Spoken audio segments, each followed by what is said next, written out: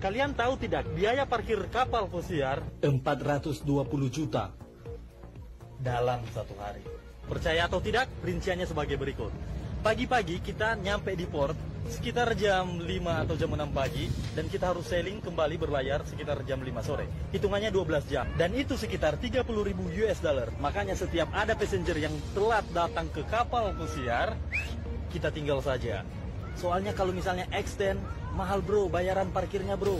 Harga tersebut biasanya di port-port yang sibuk atau di negara-negara seperti Jerman, US, Miami, New York, Italy, Civitavecchia, seperti inilah. Jadi port tersebut memang port-port yang sibuk dan biaya parkirnya mahal. Nah, berhubung karena biayanya mahal, sekarang kita berlayar, kita meninggalkan parkiran. Just kidding. Anyway, kamu kalau dikasih kapal, kamu mau nggak punya kapal pesiar? Salam satu jangkar.